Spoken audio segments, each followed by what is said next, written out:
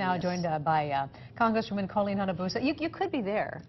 Well, You they be well no because they shut it down today, from what I understand. Yeah, at least, at least they sent you get a everybody home. Yeah. right, more than 15 years in politics, now fighting the fight on Capitol Hill and looking to land a seat in the U.S. Uh, Senate. Thanks so much for joining us this morning. Thanks for having me. Thank Yeah, you. and you just had a, a big old party yesterday, opening up the headquarters. That's right. Um, in uh, Chinatown area there. Quite the crowd, too.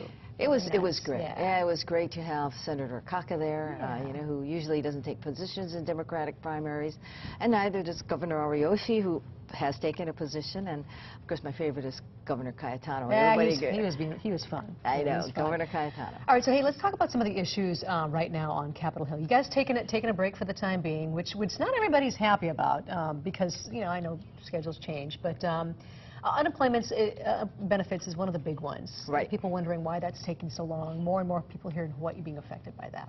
Yes, uh, the people in Hawaii, it started off with 1,900 around there, and uh, but we do know that people are adding on at about a clip of 223 or so uh, every week, and there's a total amount of about 5,800 that they think will be affected very shortly.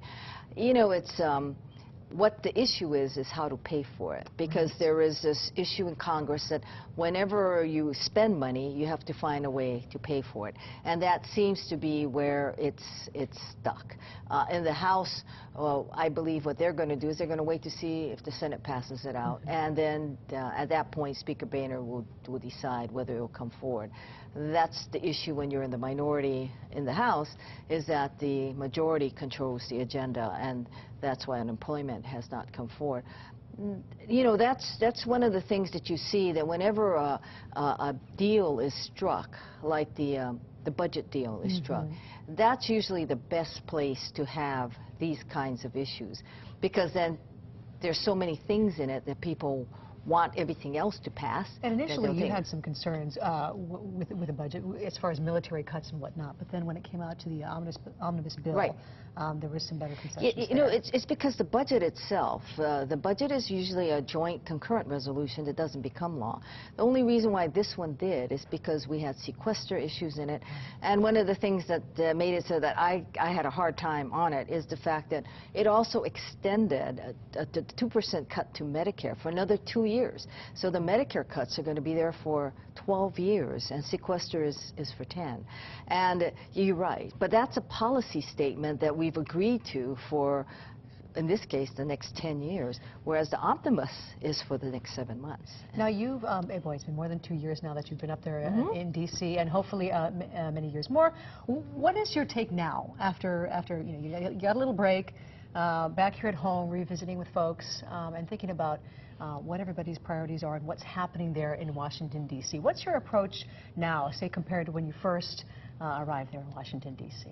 I think I think what I can tell people more is about what they see as the dysfunction, and and being part of it, having experienced it, especially in the House where we the Democrats are the minority, and what that means.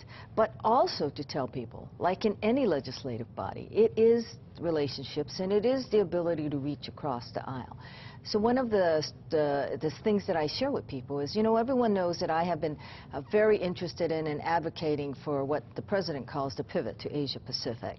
And I, and I share with people that uh, I'm the ranking member, the highest Democrat, on a series of hearings that we're having in the House on what the pivot to Asia Pacific means and how it affects, of course, the military, which is a major component of our economic base. And I said the person who went to bat for me is my Republican colleague who's been there a while, who is the, uh, the, the chair of the subcommittee on Seapower, which is all the Navy. And he said, well, if we're going to do this, then Colleen should be the ranking member. And so it is that kind of support and that kind of uh, statement that's made to both leaderships that, that gets me into these positions. So, you know, there are, there are things that people will dig in on. Right. You almost got to recognize that. And it sounds like that quote, right?